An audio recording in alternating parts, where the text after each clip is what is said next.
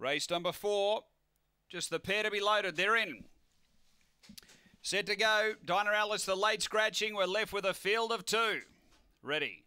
Away, stepping cleanly, Azalea Manelli's going to muster up. Canley Jet going with it in the early part. So to the first turn, there's nothing between them early. Canley Jet railing up, gets through by a clear length and a half to two lengths down, stretches away from Azalea Manelli. They race to the back, both on this track and trip for their first go, and getting away, Canley Jet has got right away from Azalea Manelli. The late scratching out of this race, Dinah Alice, a field of two, the match race. Down the back, it's Canley Jet, out by seven or eight here, over Azalea Manelli, who can lift no more. Up to the turn, though, and Canley Jet is going to bounce back into the winner's circle, clear of Azalea Manelli, and it stretched on for a big win. Canley Jet for Peter Jovanovic by 12 lengths over Azalea Manelli.